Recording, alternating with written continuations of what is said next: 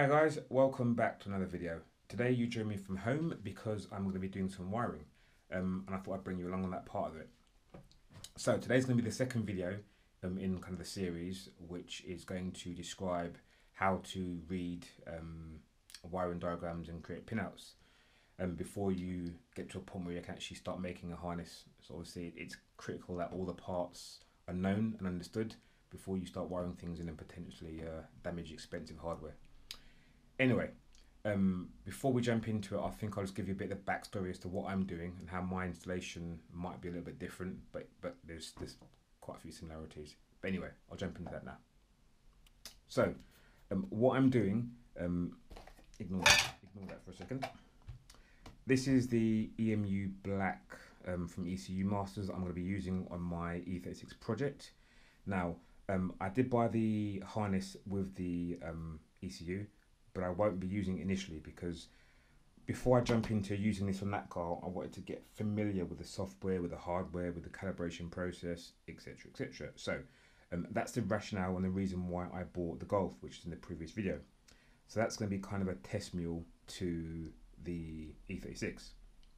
So rather than cutting into that harness and kind of making it so it'll only run on the EMU Masters Black, um, I'm going to create like a plug and play harness.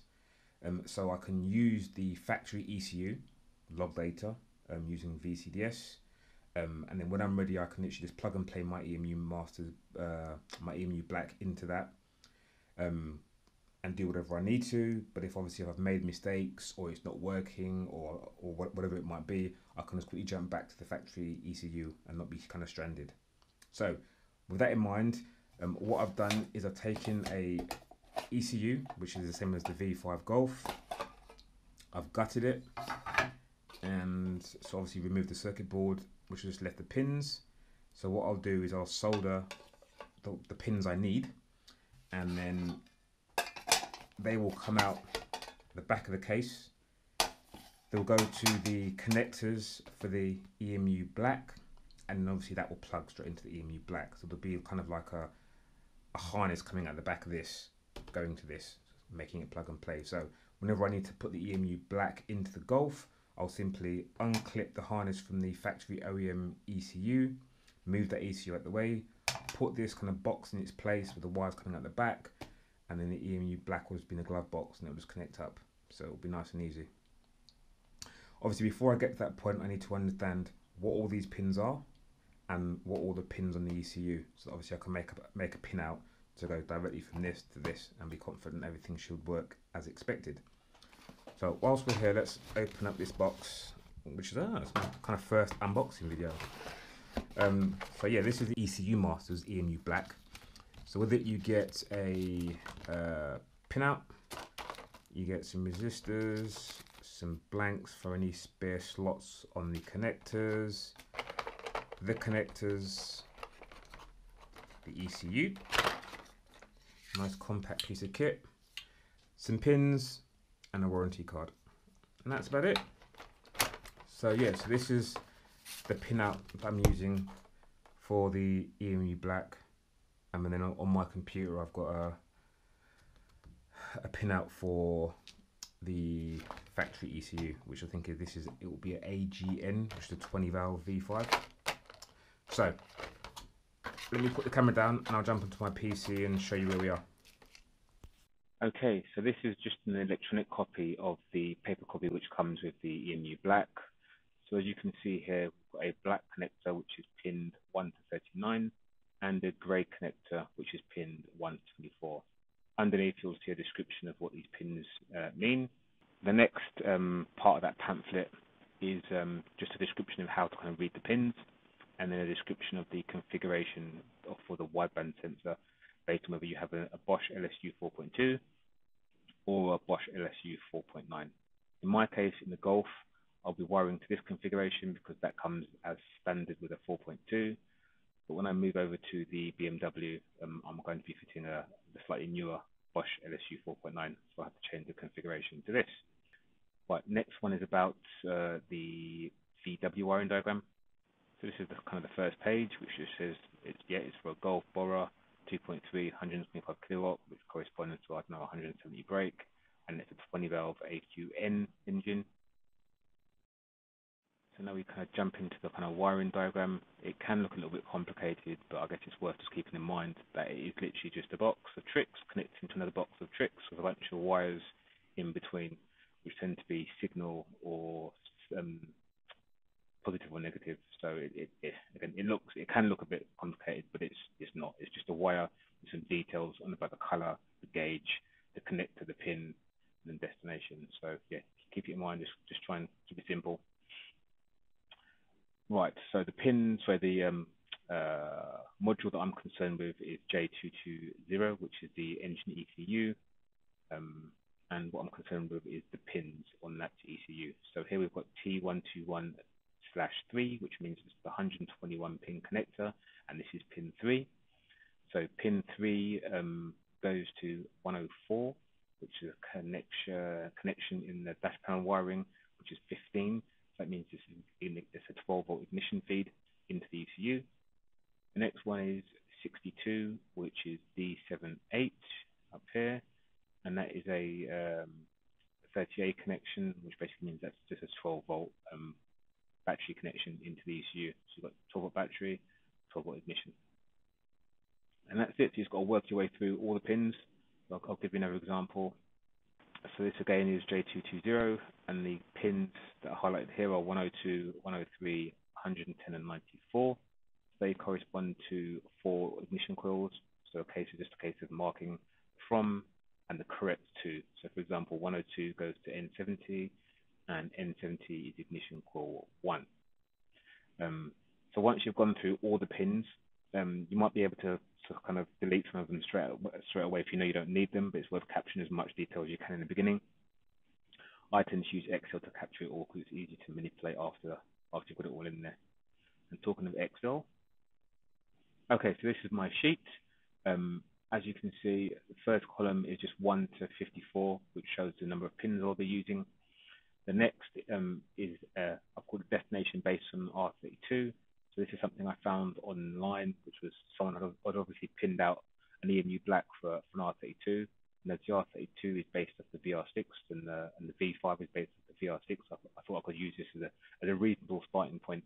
Um, so if, if we look at starting at number one, um, it is uh, B1, which is the black connector pin 1, goes to ignition coil 5. And then on the VW connector, it goes to 103, which is the ignition coil 5, and it's a 0.75 wire. So I've taken that information and started with ignition coil 5. That goes to pin 95 in my case, not pin 103. So that's a difference, but it's, still fine. But it does go to B1, which is the same. I'm using a slightly bigger coil, a slightly bigger gauge wire, which is a 1. And again, the last one, which is destination final, I've just kind of checked, double checked, triple checked to make sure I'm happy that is ignition coil 5 relates to B1 on the EMU black and then pin 95 on my VW uh, v, V5. Um, let's try and find one which is the same. So okay, this one, number two is the same. So we've got B3, which is black connector 3, is the knock sensor 1, and that correlates to the, the pin 106 on the VW ECU, on the VW yeah, uh, wiring diagram, which is also knock sensor. And then what I found on, on my on my one was again knock one was 106, so that checks out. And again B3 on the EMU black. Um, so yeah, so it's literally just a case of working your way down, checking what you can find. If you can't find anything, then you just got to use the information you have um, and use the wiring diagrams. It's nice to have uh, something else someone has made just as a kind of a sanity check, but I wouldn't base all my decisions on this. It, you've got to do your own work first, and this as like a again a sanity check.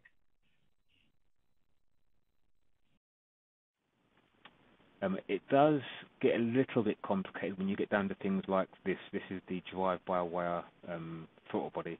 So again, you can find the pins of, off the ECU connector, which is pin 117, 118, 92, 83, 84, 91. Great. Then they go to the drive-by-wire throttle, which is um, pin 3, 5, 1, 2, 4, and 6.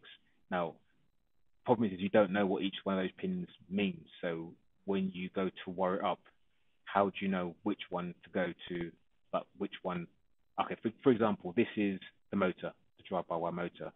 Now, which one's positive and which one's negative? So you can't you can't wire it into the ECU black EMU black because the EMU black will be saying um, one's positive, uh, I don't know, pin B2 is positive, pin B3 is negative. But if you don't know which one it is, you can't do your from and to.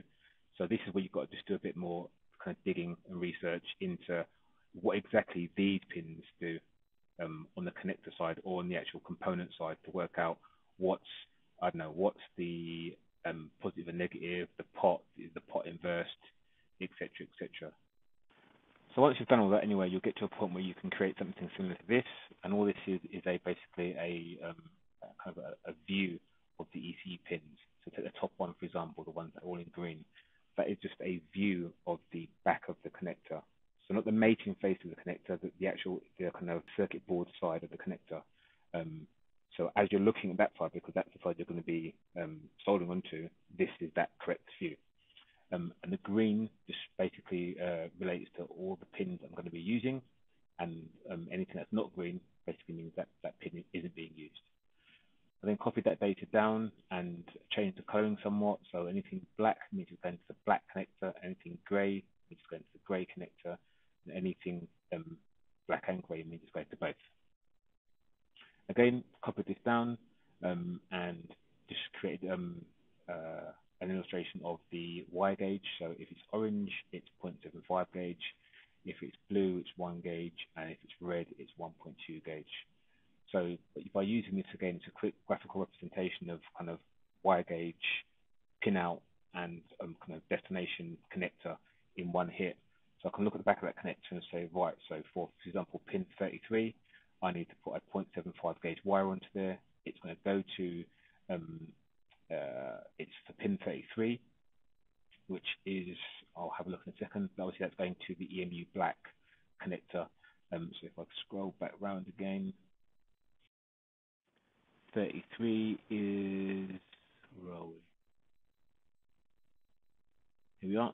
33 is sensor ground for G185, and that's going to the EMU black B38 connector. So again, by using this and cross-referencing it with a chart, I can quickly see what wire I need to solder and where it's going to.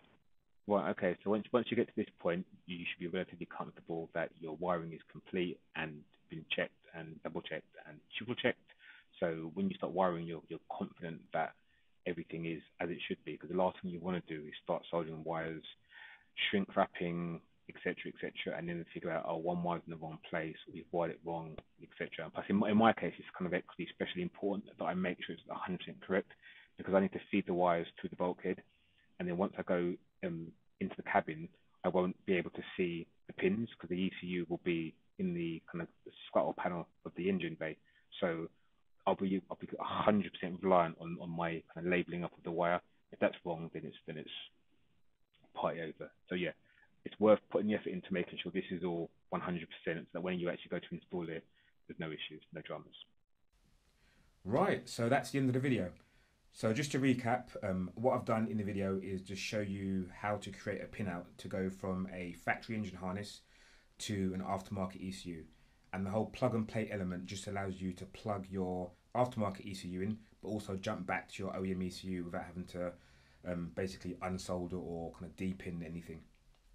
Um, the process is the same if you're wiring your aftermarket ECU directly in. In that case, you just cut the the um, factory harness connector off and then wiring your your new aftermarket connector directly in from there. Um, it just depends on preference. In my BMW E36 project, I'll be doing that. I'll be going direct to the engine connector. I won't be creating a plug and play um, harness. But for this part, for the Golf, it's easier if I do that so I can go backwards and forwards just to collect data and just make sure um, I haven't done anything wrong, or I can jump back to the ECU if I get stuck or stranded. Um, but hopefully, by the time I get to the E36, I'll be well versed in the in the software and the setup, so I won't have any uh, issues or concerns. Um, yeah, so I think that's it. The next video is going to be creating the actual um, harness itself. So using the information I've gathered in this video and I've made in this video, I'll use that to create the harness in the next video. So hope to see you there. As always, thanks for watching. If you've liked it, feel free to give it a thumbs up. If you want to see more, hit subscribe, and I'll catch you on the next one. Cheers, bye.